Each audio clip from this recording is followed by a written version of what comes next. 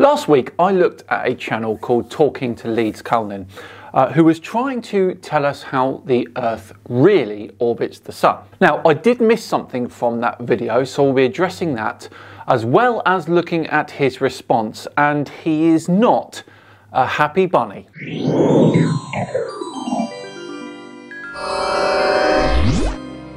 Hello all and welcome along to another episode of Tinfoil Tuesday with me, SciManDan. Thank you very much for joining me. Before we begin today, a quick thank you to the sponsors of today's video, HelloFresh. Are you looking for an easy way to eat well and save money this year? Well, cut back on expensive takeout and deliveries and get started with HelloFresh. You will love how fast, easy, and affordable it is to whip up a restaurant quality meal right in your own kitchen. HelloFresh helps you save money all year round. In fact, HelloFresh is cheaper than grocery shopping and 25% cheaper than takeout. And of course, eating well is on the top of people's minds this month, especially. And it's comforting to know you always get top quality with HelloFresh. Ingredients travel from the farm to you in less than seven days, so you know it's fresh. Here's my newest box, and I cooked the Thai style pork rice bowl. The instructions are incredibly easy to follow, and the ingredients really are fresh. You definitely feel like you're getting the best quality ingredients with HelloFresh. Now, I'm the cook in the house, and having HelloFresh not only saves me money, but time as well. Time arranging what meals to have and the lengthy process of getting all of the ingredients. With HelloFresh, it all comes to you. I won't be going back to the old ways at all. Use my link in the description or go to HelloFresh.com and use my code POGDANJAN21 to get 21 free meals and shipping. Once you click, my description will live update to count up the purchases. Right, back to today's video, which as I said at the start is regarding a response from talking to Leedskalnin about a video I made on him last week. Complicated, I know, but stick with me. So last week I started to take a look at this video from him. And in that video, I stated this. If indeed the wires are centered dead on true north, then Polaris would circumnavigate that central point over 24 hours. It would not be in one quadrant per season. Even if it was slightly off true north, it still wouldn't be in one quadrant per season. Now, without going there myself, I can't 100% verify this, but I suspect that is what's going on. Now, of course, that's entirely true, but I did miss something, and we're going to address that first before we take a look at his response. So, the Polaris telescope will show Polaris uh, making a small circle around true north, celestial north, over the course of 24 hours. However, it will show up in different quadrants at different times of year if you look at Polaris exactly the same time each night and track it over the course of that year. Now, in my defence, talking to Leedskalnin was very ambiguous about this. He never said anything about marking its position at the same time each night. He just said this. And uh, the reason it's called the Polaris telescope is because uh, any clear night of the year, you can look through this, uh, the, the crosshairs that he has made, and you can see uh, Polaris in one of the four quadrants. All right? And with this, we know we can mark the seasons. He, he has them marked off in quarters. But to show you what I'm talking about, I've made a short explanation. Have a look at this. Okay, so here we go. This is what Leedskalnin was talking about. Uh, yes, he is correct, and I'm going to show you why. Uh, this is Stellarium, by the way, uh, a free software, piece of software. Um, so we can see here that we have the uh, celestial true north point here, uh, and we have Polaris here. Now I've set up the the, the position of the viewer as Coral Castle. So the exact coordinates here are Coral Castle in Florida. And I've set the date to the 21st of March uh, last year, 2021, which is the spring equinox. And the time that we're going to take this is 10 o'clock. So 10 o'clock on the on the uh, each different day. So we can see here the spring equinox Polaris is in what would be the bottom left quadrant. If we had the crosshairs here, it would be in the bottom left quadrant. Now if we move forward to the summer solstice, we'll see that it's in the bottom right quadrant at 10 o'clock. The autumn equinox, it would be in the top right quadrant, and the winter solstice, it would be in the top left quadrant. So that's what he's talking about. He is correct uh, on, on that one. So he was right about this. However, there are two things I want to say. First off, the reason for this is not what he thinks. It is not because of the Earth's orbit around the Sun, it's because of the difference between the solar and sidereal days. The solar day is the time it takes for the Earth to rotate about its axis so that the Sun appears in the same position in the sky. That, we all know, is 24 hours. The sidereal day, however, is the time it takes for a certain star to reach the same position in the sky and is shorter than the solar day at 23 hours, 56 minutes and 4 seconds. Now that means each day Polaris would have moved slightly from the position it was in the day before. Uh, about a degree actually, and that's because we've had to rotate that tiny little bit extra uh, during the day. So that still means it's not caused by Earth's orbit alone. It's caused by the Earth's rotation and its orbit. Now that means it still wouldn't trace out an ellipse like talking to Leedskalnin is saying. Secondly, even though he was sort of right about this, it still doesn't mean that the Earth orbits the Sun in the way he thinks it does. Okay, let's get on with his response. Hi guys, RL Pool. Back with a rebuttal to SciManDan's Tinfoil Tuesday debunking video of my work. Um, so I just want to say right off the bat, I have gotten so trolled. Oh, it's so great. Uh, all that stuff. However, we have a problem because what's going on is that SciManDan gave you a very wrong and bad piece of information that made you think that. Which I have just addressed. And by the way, I wasn't wrong. My explanation uh, as to what Polaris does over 24 hours was correct. I just missed something out, which I have now confirmed. You know, I, I was getting mad because everybody kept saying this stuff to me. That's not true, and I'm going to cover it. But then I realized, oh, that well, SciManDan told them that, and he's wrong.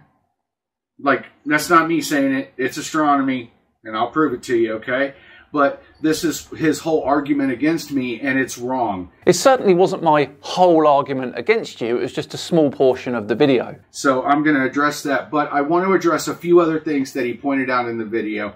I don't feel like doing the clip thing back and forth. I, I don't care about that. Nobody really needs to see him. Bit harsh. Um, he said that uh, that the Earth is closer in winter solstice. Um, that, that's true. Um, I know that I said that differently in the video, but if you look directly beneath the video, I already caught and corrected that mistake and, and said, hey, no, that is right. Well, having done that yourself, hopefully you'll accept my correction as well. Um, and I corroborated it using the thing that he won't address, which is the sundial, which was absent from the video. I noticed that I gave an entire lecture on how the Polaris telescope and the sundial are paramount to understanding how the Earth goes around the sun. He wants to debunk my video on how the Earth goes around the sun and then doesn't take on any of the arguments. Well, if you'd have watched my video, you would have seen me say this. Now look, there's over 35 minutes more of this lecture, and if you want me to take another look at the next section, let me know in the comments and I will do that. So that was a little unfair to say that I won't address it. I've just not got round to it yet, but don't worry, I will. Um, he says that my model would cause havoc with day and night cycles, but he doesn't explain how it would. He just says that it would. And this is what I've come to notice about SciManDan, which is why I picked him out in particular. I want you guys to understand something. This whole trolling him thing and all that stuff, it's not me being mean. Okay? I'm not being mean. I'm saying that guy over there is doing bad science. He's doing bad things in the name of science, and he wants to fool you into thinking he knows what he's talking about. But he doesn't, and I'm going to prove it to you. That is an absolutely fair opinion.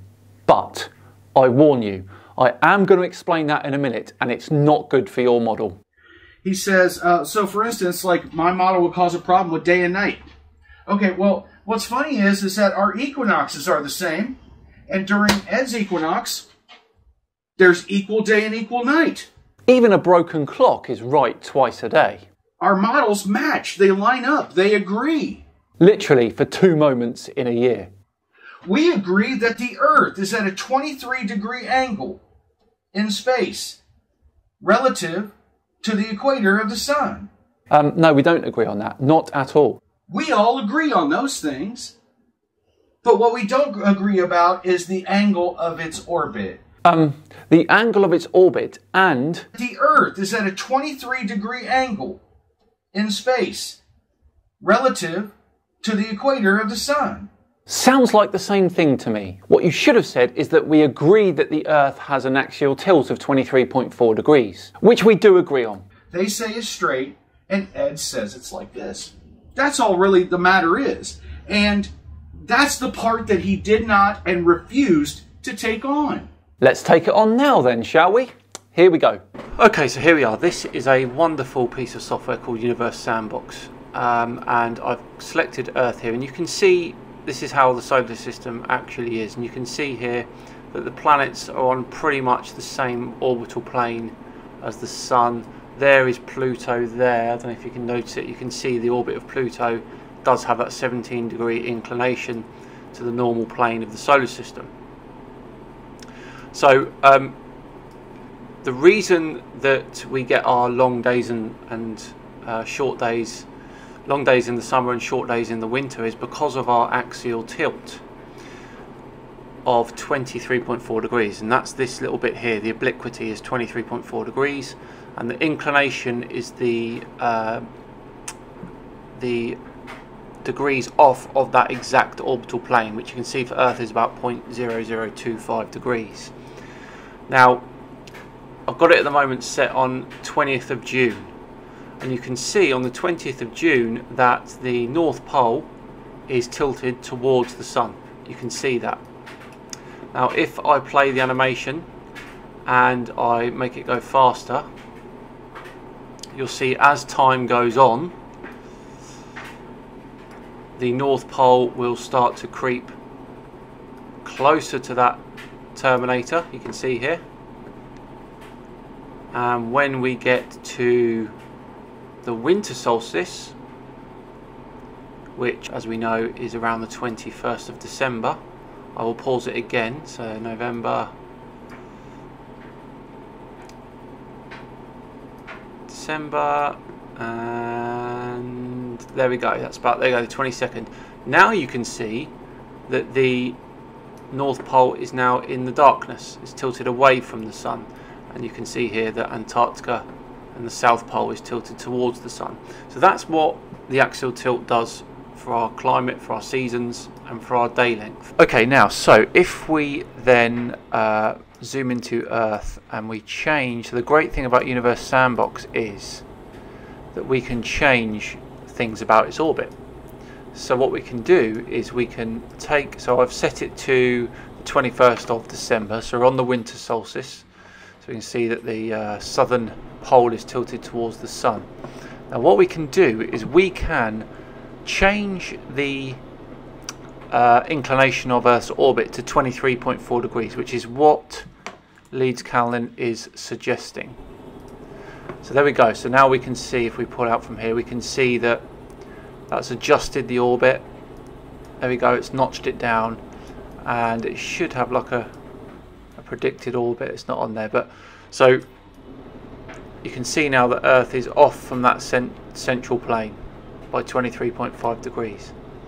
Now what we do is we will check our quickly check our um, our obliquity. So the obliquity here is uh, the angle between rotation axis and orbital plane. So we're going to change that to zero because the difference, because it's at 23.5 degree rotational uh, orbital plane, the obliquity on here becomes zero because that means the axis is 23.5 degrees, if that makes sense. Uh, so now we can see that it's got the tilt towards the sun, uh, 23.5 degrees, with an orbital plane of 23.5 degrees. Now what happens when we go throughout the year, you'll notice that the North Pole stays bang in the middle all through the year. All through the year as as the earth goes around the sun. You can see it's going around the sun because this shadow is moving. And if we go around to the south pole it's exactly the same thing. The south pole is uh, staying bang on that terminator. So if this was the case with a 23.5 degree inclination in orbit, with the axial tilt the same, there would be equal day and equal night all year round. We don't see that. It does not happen. And there we go. I would suggest that that is a knockout blow for your model. This is what I meant when I said it would cause havoc with our day and night schedule, if you will. We do not experience equal day and equal night across the whole globe all year round. And other people disagree, is on the angle at which we orbit. They think we go straight around, and he says we go at an angle. And SciManDan, he really nails this. I mean, he he says, "Hey, that's completely wrong." And then offers absolutely no explanation, no evidence, does not pick apart my argument. You know why? Because my argument's right. My argument's really hard to argue with. It really wasn't. I've just showed you how it doesn't work. Because we're not talking about me. I'm not smart enough to figure this out on my own. Somebody else figured it out and I found it and I'm explaining it to you. He built these instruments that are megalithic. And by the way, that's my other thing, my other little bone to pick with SciManDan. He says, well, you know, forget all the cutting te edge technology we have. Let's do it with some rocks. Yes, and then I immediately said this. Which, don't get me wrong, back then is a great achievement, but still. My point was, it's the 21st century, and we use the tools at our disposal right now to get things right. Well, all I know is is that where's the evidence that this technology provides? Just show me the evidence that this technology provides. Because unless you do, I'm going with the rocks. You know why? Because the rocks are accurate. Sure. Okay. Well, this is an image of uh, Earth and Saturn taken by Cassini. It shows two things really. First, the nature of how materials form around larger masses. Saturn's rings are an excellent model to show how the solar system forms from an accretion disk orbiting a newly formed star. Because of the manner of the way this accretion disk forms, most planets form in the same place. Unless you want to suggest that Earth did not form at the same time as the other planets and it was captured by the Sun's gravity. Additionally, this image of the Earth would not be possible if it wasn't in the same orbital plane as Saturn. Unless you want to suggest that Saturn is travelling in the same orbital plane as we are. But the problem with that is we then wouldn't see Saturn travelling across the ecliptic. And they're accessible. I, I, I can't access a satellite. Can you? you you're just going to be like, oh, that's what they say. That's not science. Science is being able to prove it to yourself. And that's what Ed did. You could prove it to yourself. That's the value of rocks. And this is all well and good. I'm just saying that he's mistaken about Earth's orbit. That is all. Ask our megalithic ancestors the value of rocks. So that kind of mocking statement, trying to like, you know, shovel dirt on Ed's miserable corpse, as it were. See, this is where it's like it's personal. It's not science, you know? And I don't appreciate that because megalithic instruments can be accurate, and his are accurate. You know what? You're absolutely right. I apologize. Obviously, or else he wouldn't have gotten the correct answers. The ones that SciManDan is running from right now, you know? Um, he refuses to admit that the Polaris telescope is a sextant. He didn't even bring that up. You're so interested in astronomy. I thought this was your this was your specialty, right? Well, if it is a sextant, it's not a very useful one. It can only make one reading, and that's the angle of Polaris to the horizon at the exact location you're in. And you didn't even realize that the Polaris telescope is a sextant. Now, I'll forgive you because you haven't been to the Coral Castle that you don't know that there's a way that you line that up. You have to look through another eyepiece with another uh, piece of wire and line the, all those up, and then you can see Polaris. Yes, I did know that, but it still only records one thing, doesn't it? Polaris. And I doubt it can even record the angle. But again, if it does, I apologize. Um, but now this is where we get. I don't need this this is where we get to the part where he has committed a he's committed a science crime, guys. Him and uh, what's his dude's name? Conspiracy Cats. Remember when I told you he postponed it a week because he didn't have any answers? And then when he posted, "Oh, it's coming," I said, "Did you have to phone a friend?"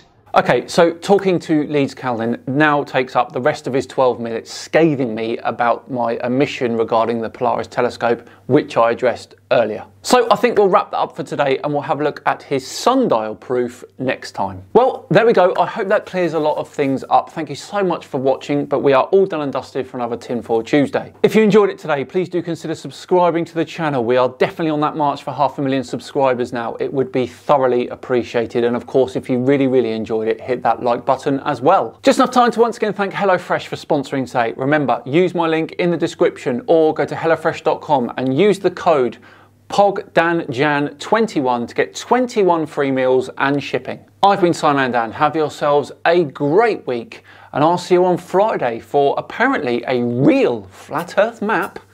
See you then.